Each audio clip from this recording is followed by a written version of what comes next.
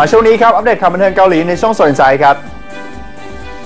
มีมาฝากกัน 2 ข่าวในวันนี้นะครับ ข่าวแรกเลยของหนุ่มซงจุงกินั่นเองนะครับ ที่ล่าสุดนี้เหมือนกำลังพิจารณาในการรับงานเป็นภาพยนตร์เรื่องใหม่อยู่นะครับ ไม่แน่ใจว่าเจ้าตัวจะตัดสินใจรับหรือเปล่าลองอัปเดตกันดูครับ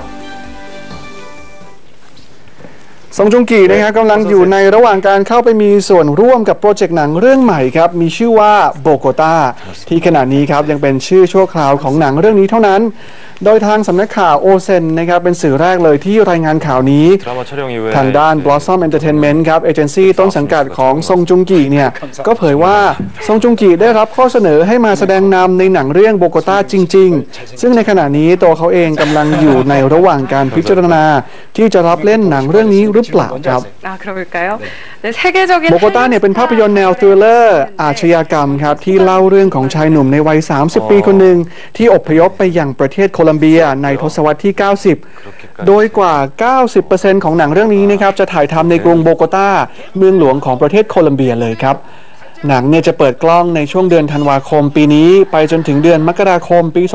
2020 ส่วนตัวซงจุงกีเองในตอนนี้กำลังอยู่ในระหว่างการถ่ายทำหนังไซไฟเรื่อง Lightning Chip ซึ่งยังคงเป็นชื่อหนังชั่วคราวอยู่เช่นเดียวกันครับก็เหลือเวลาตัดสินใจอีกไม่มากแล้วเหมือนกันนะครับ นี่ก็เดือน 7 ใช่ไหมครับผมว่าก็ต้องแผนล่วงหน้าหน่อยนะครับ เพราะว่าเปิดกล้องธันวาคมนี้แล้วนะครับ สู้ๆแล้วกันแฟนๆ ก็ไปให้กำลังใจก็ได้นะครับ เขาจะได้นะเหมือนลืมเรื่องในอดีตไปด้วยนะครับ แล้วก็ตั้งใจเล่นตั้งใจรับงานนั่นเองนะครับผม